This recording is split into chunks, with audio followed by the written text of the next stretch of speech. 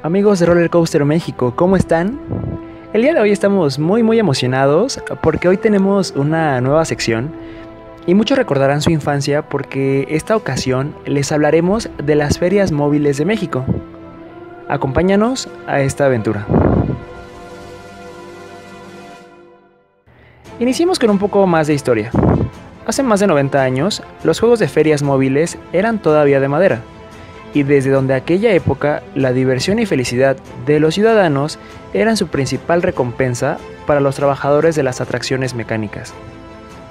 Las ferias itinerantes eran del interés de muchos ciudadanos.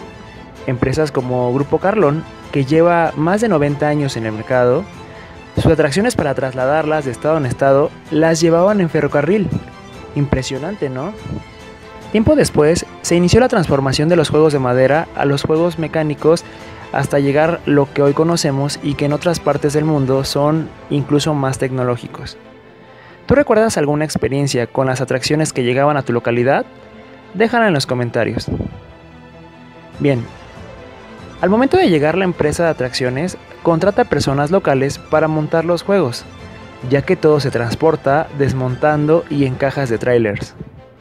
Comúnmente llegan 10 días antes que inicie la feria para poder armar las atracciones, en el siguiente video les hablaremos más del trabajo que realiza el personal de las atracciones al montar una atracción. Conozcan la historia de Grupo García, que desde los años 1930 empezaron desde una atracción de madera hasta lo que hoy conocemos que son sus atracciones de gran dimensión. Inicio de un sueño. La familia García inicia con una rueda de la fortuna fabricada por un maestro ferrocarrilero a un costado del templo de Guadalupe. El señor José García y sus hermanos se encargaron de operarla por primera vez en la Feria de San Marcos en 1931. Y en 1943, don José se independiza y junto con su esposa, la señora Lucita, forman Atracciones García inician las nuevas atracciones. Una de las nuevas atracciones fue la ola marina giratoria, mejor conocida como la ola, causando sensación entre los visitantes a las ferias. Aún se puede encontrar alguna trabajando en fiestas de pueblo. Atracciones de altura.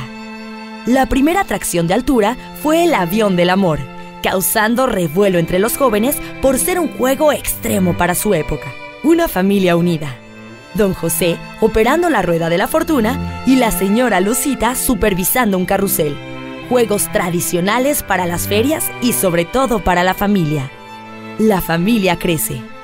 Ocho hijos, todos apoyando el negocio familiar. Hombres y mujeres después de clases iban a trabajar en diferentes actividades a la feria.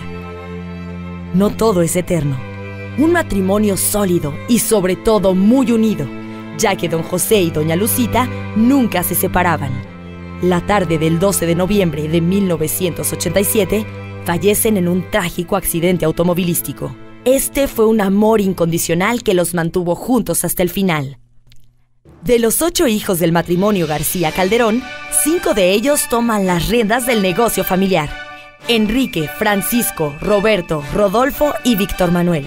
Empiezan las importaciones. ¿Quién no conoce el Trabant? Aquí inicia la importación de juegos del extranjero. Nuevos retos. Fabricación de juegos mecánicos.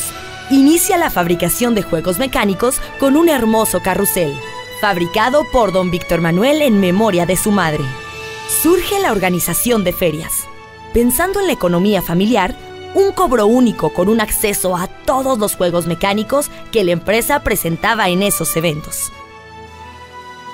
En 1989 surgen los Garcibonos para seguir cuidando la economía familiar. Y con 17 años de existencia se convirtieron ya en una tradición. Participación en Estados Unidos. En el 2004, Atracciones García es la primera empresa mexicana en incursionar en el mercado norteamericano. La familia sigue creciendo y ahora la tercera generación los nietos de quienes fueran los fundadores de esta maravillosa empresa inyectan vitalidad y nuevas ideas. Expansión de organización de ferias. Es aquí donde nace Grupo García, abarcando varios servicios como control de accesos y estacionamiento, sanitarios móviles, espectáculos familiares y organización de eventos masivos, por mencionar algunos. Seguimos innovando y cambiamos la forma de pago con una tarjeta electrónica llamada Garci Card, mejorando así la atención a nuestros clientes, brindando un mejor servicio y rapidez. Más atracciones. En 2015 se presenta por primera vez la Mega King Tower, la torre de caída libre e itinerante más alta del mundo, causando una gran admiración, sorpresa e inquietud al público que la observa desde abajo, admirando y causando asombro al ver su gran altura. Traemos una nueva atracción, la espectacular Global Wheel, una rueda de la fortuna con 45 metros de altura haciendo remembranza a los inicios de nuestros fundadores y la tradición de nuestras ferias y familias. Queremos darte gracias a ti y a tu familia por acompañarnos en este hermoso trayecto, lleno de alegrías, sonrisas y emociones. Si te gustó el video, no olvides regalarnos un like y espera nuestro siguiente video donde les hablaremos más del recuerdo de las ferias móviles de México. Síguenos en nuestras redes sociales como Roller Coaster México en Facebook, Roller Coaster MX en Instagram y síguenos en YouTube como Roller Coaster MX. Nos vemos en el siguiente video. Adiós.